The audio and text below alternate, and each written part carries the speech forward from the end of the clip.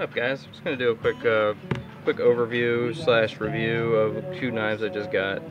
Um, first, uh, first real quick, uh, not much to say about this. This is the Boker Titan. Uh, it was about 35 bucks. It's got full titanium scales, uh, titanium backspacer, backlock, 440C blade very nice for the money, I gotta say. I mean, someone who can't afford a, a Sebenza or something like that, uh, the titanium feels a lot like a Sage 2. Uh, so I mean, it's a good it's a good way to you know get yourself some titanium and uh, yeah, I like Boker. Boker's good stuff. I mean, people people have their issues with them. I'm not gonna deny that they sometimes have issues. I mean, the Boker brand is good. Boker Plus is, is where you get some occasional problems, but you know, I've had nothing but pretty much good experiences with them, so. But this one's really nice. I just figure, you know, I like it. You know, I like titanium, and it's so affordable. It's got a nice pocket clip. It's really thin, nice and light, and it's pretty big too. I mean, uh, get a military going here. I mean, it's not it's not a small knife, but it's pretty pretty good size. I mean, it's not the same size as the military, but it's close. Um, but yeah, it's a cool knife. I'd, definitely recommend it. I like the blade shape. It's got a drop point, nice and sharp. Good for, uh, you know, everything. It's a good shape. It's very uh, kind of a classic blade shape there. It's like a little narrower. But, uh, you know, the grip's nice. It carries nice. It's very light. But it's got that high quality feel to it for a uh, under $40 knife. So definitely recommend it, guys. Um, and also, just got like pretty much one of my dream knives that I've been trying to get for a very long time and it is awesome. It's a DPX Hest folder.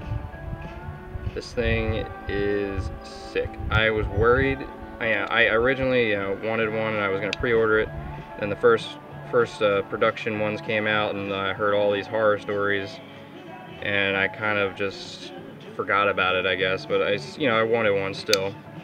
But um, you know, I just got this. Uh, got a really good deal on it, so I had to jump on it.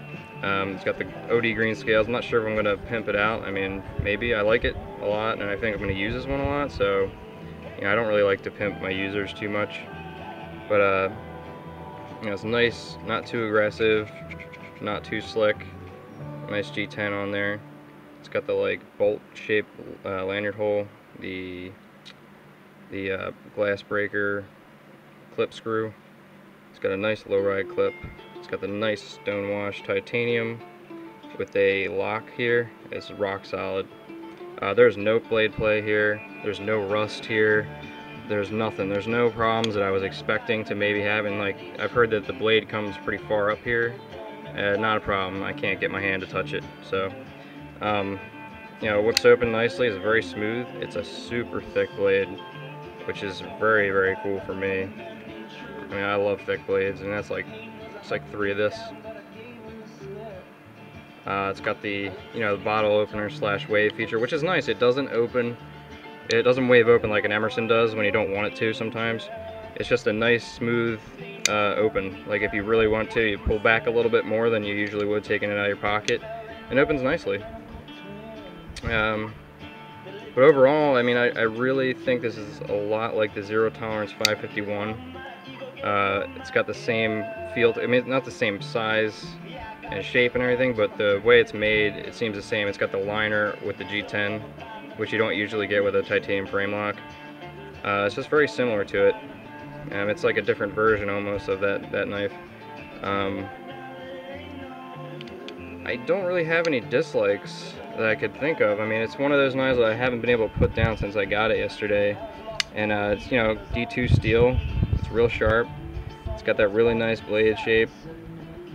It's good for a lot of different tasks. You know, it's thick all the way to the tip, so you know you're not going to get any breaking. You know, D2 is, is pretty damn hard stuff. You got the RYP symbol there, and the DPX has there. Um, and it feels you know, it's similar to a Rat 1, I guess. Uh, I mean, not as deep of a choil there, but you know, it's got a nice short blade, so it's good for EDC everywhere. Um, the jimping, I was kind of worried about that. It was it's a kind of a strange looking jimping. I thought that looked maybe get too sharp, but it's really flush with each one, so it's you know you don't get your hand caught in this little these little cuts here because they do look sharp and they are, but you don't you don't hit it all. It just kind of grabs your finger the slightest bit. It's good. And uh, it's good for small hands. I have smaller hands and I lock in right here and up here. And I still, you know, if you had bigger hands or gloves, you get that full grip there.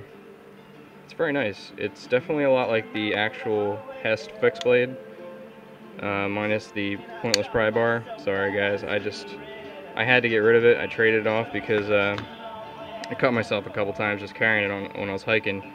I mean, I carried it on my shoulder and it rubbed against my chest. I carried it on my hip and it rubbed against my hip, the pry bar, I mean. And uh, it, you know, it was great for cutting and you know, nice and sharp, good quality. But I just, you know, I, I traded it for RC3, which you know is one of my favorite favorite fixed blades for anything outdoors. And it's a good size and everything. But this thing's cool. Came with the tool. Um, not sure where I put it. That's on my keychain. But uh, you know, it's got everything you need to uh, unscrew this guy. Here, hold it in place while you unscrew this. And uh, it's got the thing for unscrewing the butt, uh, the, uh, stock, the uh, breaker there. It's good stuff. And it, that doesn't bother me at all. I mean, even in the reverse grip, uh, it's not you know too pointy where you can't like carry it like this. It, it doesn't like jab your finger or anything. I mean, you even have enough room to even put it up to the side a little bit. But you know, the way it is is you know right in that little pointed area, kind of fits right there. So you don't have any problems. Oh, I got a cut there. Where did that come from? Yeah. When you work with knives as much as I do, you don't even notice cuts sometimes. It's pretty terrible. But uh, all around, uh, definitely recommend this knife too. If you can find one. I mean, they're a little pricey, like 100 and, 180 to 200 bucks. But uh, you know, you can get this guy here for under 40 bucks, and I definitely like it a lot.